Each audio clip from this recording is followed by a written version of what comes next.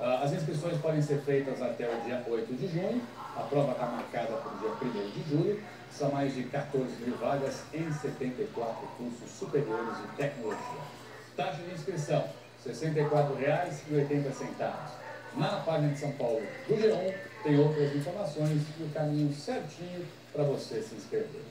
E agora você aqui com a gente, repercutindo o ST1 desta terça-feira, começando aqui com o Sérgio. Hoje é aniversário de